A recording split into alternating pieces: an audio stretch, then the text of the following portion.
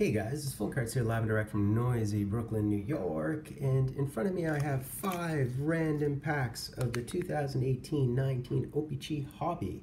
So these are about three bucks uh, pop. I thought I'd open a couple more of these. So in theory, what can we get? Uh, you can see your odds here typically on the back if you uh, if you can square in on that. Uh, you should potentially get a gold glossy parallel or eight silver border parallels if you open up an entire hobby box. Um, you should get retro black borders, mini inserts, O-Pee-Chee playing cards. Uh, are short print playing cards, which are the aces, which are one of 120 packs. And also there are high series and retro cards, marquee rookies, season highlights, uh, league leaders, etc. So those are the types of things we would theoretically uh, be hoping for, wishing for, and potentially getting. Usually you get a lot of inserts in these bad guys, bad boys, so uh, let's see whether we're for fortunate or unfortunate. I see something black, so that's pretty good. Usually those are uh, rare and numbered cards. So uh, you see here our typical cardboardy stuff. And then we do have a league leaders, and it's a Connor Hellebuyck. I've actually gotten this card before uh, and it is he was the wins leader along with Vasilevskiy. Uh, he had a great playoff run as well. We have a Shane Gostisbehere, which would happen to be a retro, and then here we have a Roman Josi, a Roman Josi, and this would be a black retro card mimicking the 1967-68 uh, Topps and you see it's numbered to 84 of 100. So that's kind of nice to get a blackboard bordered numbered card. That's a pretty good pull right there. Uh, and then a couple more base, including Nico Hischier. So we've already gotten some pretty decent cards here. The league leader would be a high numbered card, so that would be a short print card. So we've in fact gotten three inserts. Uh, of course, there's 10 cards per pack, so there's a lot of bang for buck in each pack.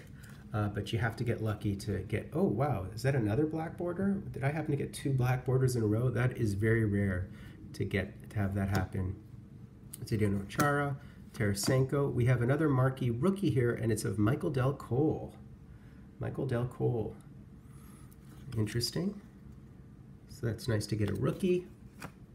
And here we have a Mark Staal retro card, who's been a very stable force on defense as well as a Joel Eriksson Ek, and another black border. So this is two numbered cards. I believe you get two per hobby box, and I seem to have spiked both of them. So that's kind of cool. So that's numbered 18 of 100. So that's our second black border card. And here we have a silver card as well. And the silver card will be would be of Joel Eriksson Ek. Nice. So some nice stuff thus far, fairly fairly quickly in this break. Uh, three more packs. Let's see what else. Oh, is that another black border? It's been a black border frenzy here. So we have Vrana, we have Guentzel, we have another rookie, and it's Thomas Hyka, who's actually a pretty, a pretty good rookie. That's nice to get the Thomas Hyka rookie card. We have a Rick Nash, which would be a silver bordered card, as well as a retro card of Anze Kopitar, and here's another black border uh, uh, retro, and it would be of Nick Leddy. So that is our third black border. That is really rare to get three numbered cards when you just pull a bunch of packs randomly. Uh, as well as a Josh Ho-Sang with second year card, Jamie Benn and All-Star of Braden Holtby. Two more packs left. Uh, all kinds of interesting things thus far, I must say. Uh, fairly uh, randomly. That's a lot of black borders for no apparent reason, but uh, I'll take it. So next, last two packs. Uh, ideally, I'd like to get a Scott Foster. Wouldn't that be fun? Um, or a patch, which is unlikely. Oh my god, another black border card. What a black border frenzy. It's like a black border hot box I picked from. And so here we have a team checklist of our Jets, or Winnipeg Jets. And we can see the uh, Patrik Laine and Nikolai Ehlers and Josh Morrissey and Trouba, Paul Stastny, etc. As well as a Brandon Dubinsky black border. I can't believe four black borders. We're supposed to get two per hobby box. And this, I picked all these cards from a single hobby box. Oh, we also have a mini here. So then we have a Remi Elie, whose rookie year was the prior year, I believe. And that would be a retro as, as well as the Carey Price Mini. So that's really nice. This may be a short print. Oh, whoa, it's numbered. Wow. That is really interesting and cool. Is it supposed to be autoed or something? It's just numbered, it's just hand numbered. I've never seen that before. How strange, hand numbered. I'm going to quickly take a gander at whether that is, oh, okay, so that's a black variation. It's supposed to be a black variation number to 20, or back variation. It's a back variation.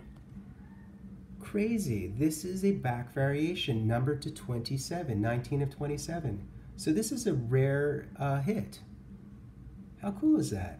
I've, I've never seen these before. So this is probably the first time they're doing that. I know that they've certainly have blank backs and so on, but this would happen to be a mini um, short print. Really, really interesting. Number to only 27, and we happen to hit the Carey Price. I have no idea what this goes for, um, but I'm kind of psyched and stoked that we hit that. That is very cool. So I've heard about those. I didn't really know what they were and, and lo and behold, they're numbered to 27. Interesting. You always get interesting stuff within the. Uh, do we have another black one? I would be told. Oh, this looks like a playing card. And a black one. Another black one. What an interesting. So this is like a black hot box. I didn't know there, there were such things, but apparently there are. So, and here we have a Victor Hedman. A Victor Hedman. As well as a Jakub Voracek. Huh. So this too, again, would be, those would be retros. And then we have an Arturi Lehkonen Black Border Retro, as well as the Ten of Spades. Oh, PK Subban, gotten this before, actually, the PK Subban. So we have a PK Subban, which is kind of cool. It's my second PK Subban, if anybody wants a PK Subban. And that's basically it. So some interesting stuff here uh, in these $3 uh, rando packs that I got. Uh, I'll go through them fairly quickly here. Um, and we can also look at the back of these just to make sure we didn't get any blank backs because on occasion those two would be inserts, the old school blank backs. Uh, rarely, but on occasion. So these would be our base from these five random packs. We did get a whole host of retros so the retros, as I said, harkening back to 1967-68, we got Voracek, Hedman, Remi Elie, Shane Gostisbehere, Mark Staal, as well as Anze Kopitar. Okay. Then with regard to our high-numbered cards, uh, we got a checklist of the Jets, as well as two rookies, Michael Dal Colle, as well as Thomas Hyka, and Connor Hellebuyck, uh, league leaders. So checklist, league leaders, and two of those rookie cards.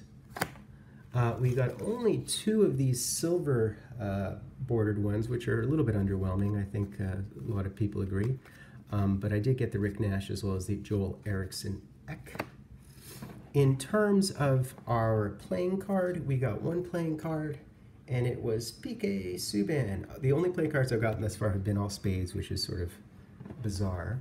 Then we got these. So strangely, so I had five packs and I have five black borders. So obviously it was a black border hot box. I didn't know there was such a thing as a black border hot box, uh, but we got Le Lehkonen, Dubinsky, Nick Leddy, Connor Murphy, and, and Roman Josi.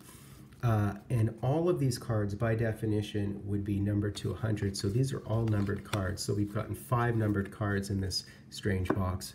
And then our hit of the of the five packs uh, was this Carey Price short print manually numbered to, to uh, 27 because it is one of the uh, special variation O-Pee-Chee backs. Uh, so this is a rare card, a rare hit. It's very, very interesting. So strangely, I opened five packs and I got six numbered cards. This is what's so interesting about O-Pee-Chee. People can sort of floss on about how disappointing they are in the product because it doesn't have your typical memorabilia cards, auto cards anymore, doesn't have those case hits. But there's always all kinds of unique peculiarities um, and random strange occurrences with O-Pee-Chee, which is sort of the fun of it. Okay, guys, well, I happen to be phone cards live and direct from a place called Brooklyn, New York.